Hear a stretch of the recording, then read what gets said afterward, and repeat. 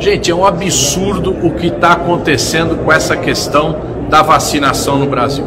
O governo federal não tomou nenhuma decisão até agora para valer de como aplicar essa vacina nos 205 milhões de brasileiros.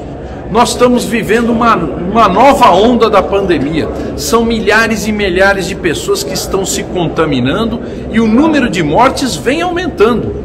É necessário que o governo pare de brincar com essa história e tome medidas concretas, não só garantindo a saúde da, das pessoas, exigindo o, o uso de máscaras, aplicação de álcool gel, que se evite as aglomerações, que se fechem os bares das cidades a uma determinada hora. É necessário que o governo faça tudo isso e que tenha eficiência na aplicação da vacina, na compra da vacina.